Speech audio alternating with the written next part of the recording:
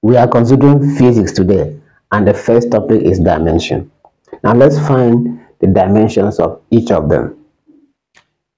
Number one here says force. Force is a product of mass and acceleration, ma. Now let's find acceleration. A, acceleration is velocity divided by time and velocity is displacement which is length divided by time. So acceleration this is velocity divided by time.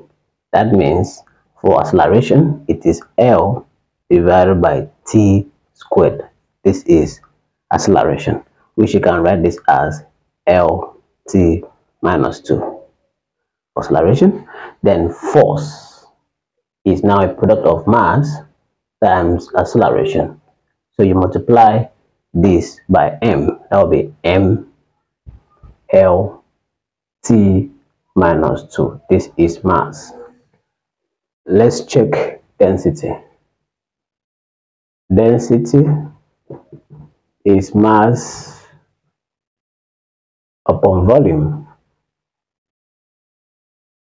Mass is calculated is m scalar quantity. Volume is L cube.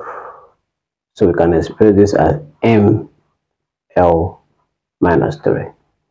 That is density. We'll consider this too in next video.